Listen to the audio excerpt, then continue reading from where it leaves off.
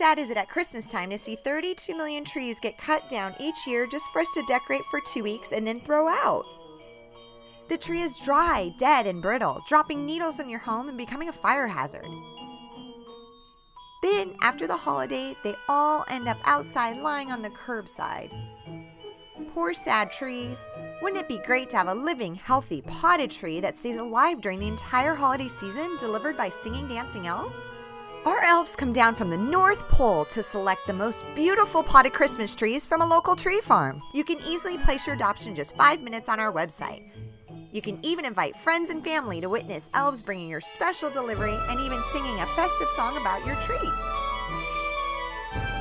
You can, of course, keep your tree and plant in your own yard if you like. Otherwise, the Adopt a Christmas Tree Elves will be happy to take it back at no additional charge and have it donated and replanted here in San Diego County.